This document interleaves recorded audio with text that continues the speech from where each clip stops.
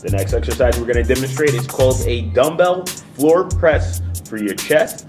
You're going to bring your elbows all the way to the floor, pressing up, squeezing your chest at the top, not allowing the dumbbells to touch in the middle.